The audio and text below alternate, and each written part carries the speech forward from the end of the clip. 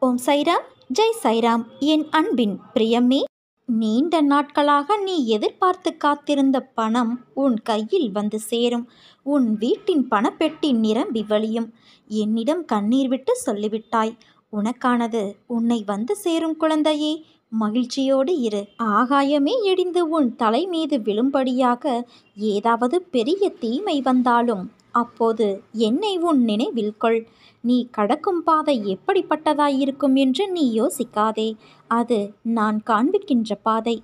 அதில் என் துணை உனக்கு நிச்சயம் இருக்கும் என் குழந்தையே. உன்னை பாதுகாப்பதற்கே நான் இருக்கின்றேன். உன் உற்றார் உறவினர் நண்பர்களே உனக்கு துரோகம் இழைக்கிறார்களே என்று வருந்தாதே. அதை எப்படி எதிர்கொள்வது என்று நிதானமாக யோசித்து அறிந்து கொள். நட்பு பாசம் இல்லாமல் பணம் ஒன்றே குறிக்கோளாய் கொண்ட வியாபாரிகளான இவர்களுக்காக கவலைப்படாமல் உன் மனதை ரணப்படுத்திய நிகழ்வுகளை மறந்து உன் லட்சியத்தை அடைவதில் மட்டுமே நீ கவனம் செலுத்த வேண்டும். வாழ்க்கையில் சாதிக்க வேண்டும் என்றால் தேவையற்ற பேச்சை குறைத்து தீர்க்கமான செயல்களில் மட்டும் ஈடுபடு. இவைதான் உன் லட்சியத்தை அடைய செய்யும் உத்திகளாகும்.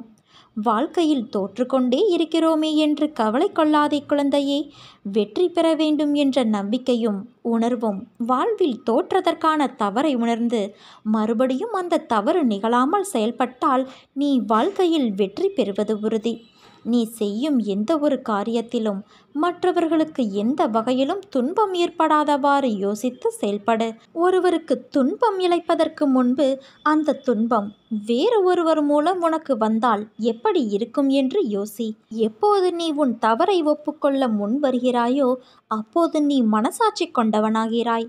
என்றும் செய்த தவறை மீண்டும் மீண்டும் செய்யாமல் பார்த்துக்கொள். என் வார்த்தைகள் மீது நம்பிக்கை வைத்து செயல்படு.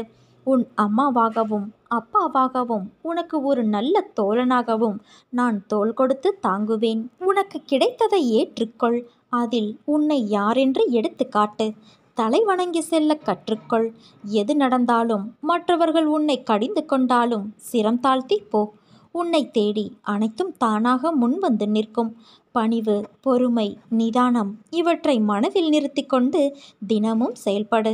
மற்றதை நான் பார்த்து கொள்கிறேன். உனக்கு வரும் கஷ்டங்கள் எல்லாம் உன்னை தாழ்த்த என்று நீ நினைத்து கொண்டு இருக்கிறாய்.